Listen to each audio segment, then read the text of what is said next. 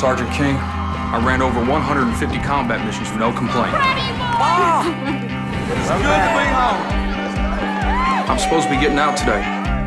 Now they're shipping me back to Iraq. And I just got stop loss. Get up, get out, get away from these lies. Cause they don't get your soul or your fight. What the hell's happening to these guys? Listen to me. If you're spooked, it's okay. There's no shame in that. I ain't scared. I'm pissed off. I'm fighting this thing. The ranch always felt so safe. You'll find another place and make it safe. I want so much to open your eyes. Cause I need you to look into mine. Steve's married to the army. I can't go another year without having him touch my face. Tell me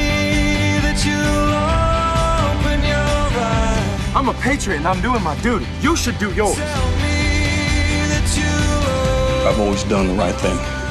And this is wrong.